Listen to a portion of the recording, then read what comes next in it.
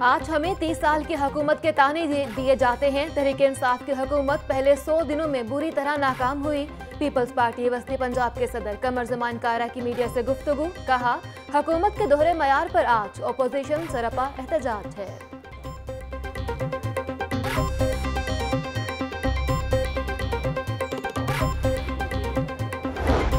استعمال شدہ درآمدی موبائل کے ٹیکسز اور ڈیوٹیز کے ایس آر اوز کے اجرا تک موبائل فون بند نہ کیے جائیں، اکتیس دسمبر کی ڈیڈ لائن کے باعث کاروبار بری طرح متاثر ہوا، صدر آل پاکستان موبائل ایسوسی ایشن بابر محمود کی پریس کانفرنس۔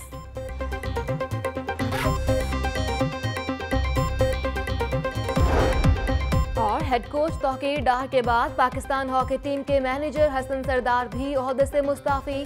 کہا ہاکی کو فروغ دینے کے لیے پیسہ لگایا جائے اور نظام بہتر بنایا جائے۔